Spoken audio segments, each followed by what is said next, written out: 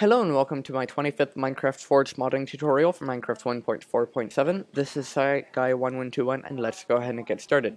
So in the last tutorial I taught you how to add a custom fuel to the game and in this tutorial I'm going to talk to you to, to you about adding uh, custom dungeon loot. So when I say dungeon loot I mean dungeon loot. Um, exactly what it says. When you're mining through a cave you come across a dungeon, there's loot inside of it. Um, I believe that this code works with um, with the jungle and desert temples, but I'm not actually sure. So I know for a fact that it works with dungeons. Now, it's actually very, very easy um, to add this, assuming that you already have um, the item that you want to spawn all you need to do is add one line of code. Um, I'm going to put it inside my load method. You could put it inside another method and then just call that method um, if you want to have a miscellaneous methods type thing. But I'm going to put it at the bottom of the load method, and that is dungeon hooks dot add dungeon loot. You say new item stack, and then the name of your item. So in this case, I'm going to do tutorial ingot the rarity of your item. So this is going to be a number from 0 to 100. Um, if you were to say 100, it would spawn with the same frequency of, say, a bucket or a saddle. If you said 0, it would not spawn at all. Um, so, to give you some perspective, a bucket has rarity of 1, and a golden apple has rarity, or a bucket has rarity of 100, and a golden apple has rarity of 1.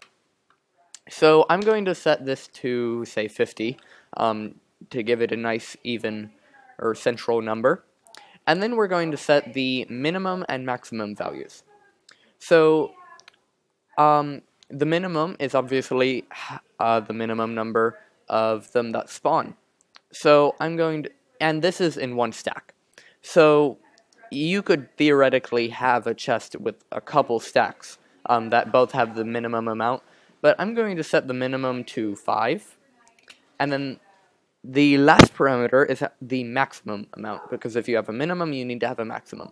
So I'm just going to set this to, say, 30.